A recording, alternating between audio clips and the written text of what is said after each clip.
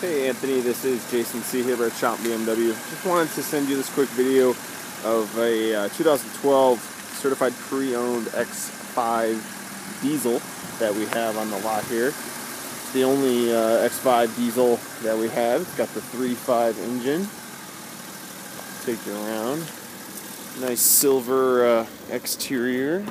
Got the comfort access, cold weather package, rear heated seats, climate control,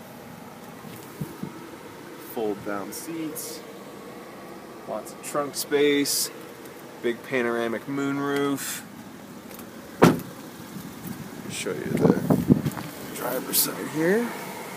Got the 8-speed Steptronic transmission and your iDrive control down there. Equipped with navigation.